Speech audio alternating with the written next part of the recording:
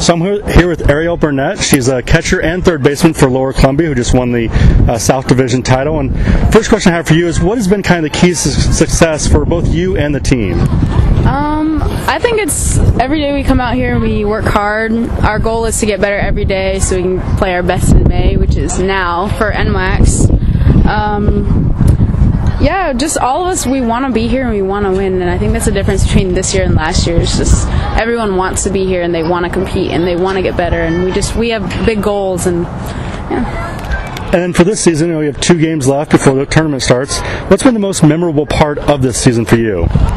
Um, playing Mount Hood for me because I hit home run in both of the games at the doubleheader here, and we lost the first one, but we ended up winning the second one because of my home run, and then I hit another one off them at their place too, so that was cool. And then, you know, talking about hitting home runs and at bats, you know, you have the ability to hit a home run, but also go up there and bunt for a base hit. You know, back and forth, however you feel that time. How do you approach an at bat, and what kind of mindset do you have as you go um, into the box?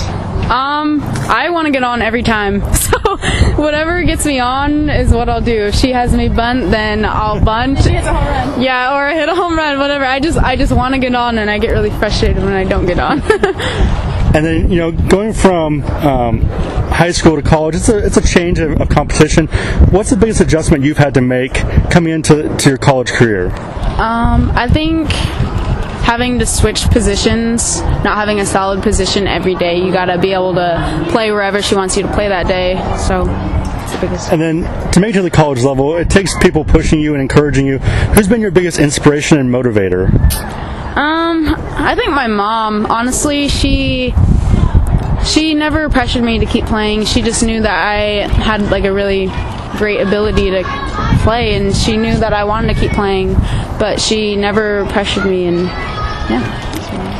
And then, you know, softball, like baseball, is a game of routine. Every day you're doing the same thing. But some of it comes to become that superstition level. Is there any superstitions or routines that you have before each game or during a game? Yes, um, I have a Lucky Sports bra. It's um, it's all tie dye, all colorful, and then Lucky underwear too. And I have to have coffee before the game, or I won't do good. And last question I have for you, you know, a lot of girls come out and watch the LCC games. In fact, I have two younger daughters. You know, what advice do you have for that younger generation that wants to play at this level? um, I would just say work hard, keep going at it, don't give up. I mean, there are a lot of times I wanted to give up, but I knew that I could keep going if I didn't give up. So. Awesome. Well, thank you very much.